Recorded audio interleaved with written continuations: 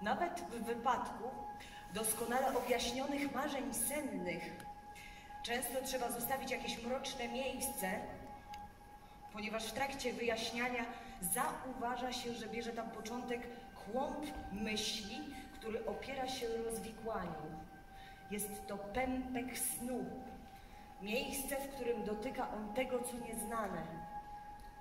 Kłąb myśli, który opiera się rozwikłaniu, bo dotyka on tego, co nieznane. Ilfszo! Co to, Greto? Nowość. Znany naukowiec Europy, niejaki Freud. Objaśnienie marzeń sennych. Objaśnianie marzeń sennych. Pięknie brzmi. Czytaj dalej. Myśli senne, na jakie natykamy się w trakcie objaśniania, muszą przecież pozostać całkiem ogólnie, bez końca, w podobnym do siatki zawikłaniu, wybiegając na przestrony w świat naszych myśli. Z tego miejsca osnowy, gdzie myśli splecione są silniej, wyrasta potem marzenie senne, niczym grzyb ze swojej grzybni. Marzenie senne wyrasta niczym grzyb. Chyba coś nieprzyzwoitego. Tak!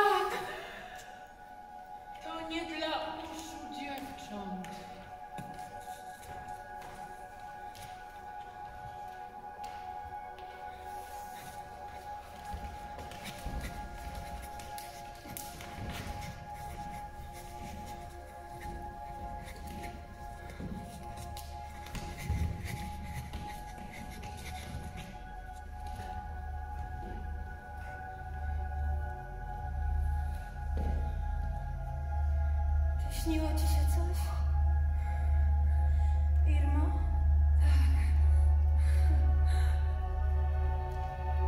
Śniło mi się, że idę przez wielką, wielką pustynię. I nie wiadomo dokąd, skąd. Wszystko po horyzont zasypane jest rozgrzane do czerwoności piaskiem. Nie widać naszych śladów. Zasypują je natychmiast ziarenka sypkie, drobne jak w klepsydrze. Idę ja i moja karawana. Mam karawanę. Wiem, że jest coś takiego jak karawana. Znam ją z widokówek, z książek. Coś, co ciągnie się piaskowym wężem wzdłuż do nieskończoności horyzontu. Idę. A każdy mój krok jest głębszy i głębszy. Końcu nie mogę się poruszyć. Tonę.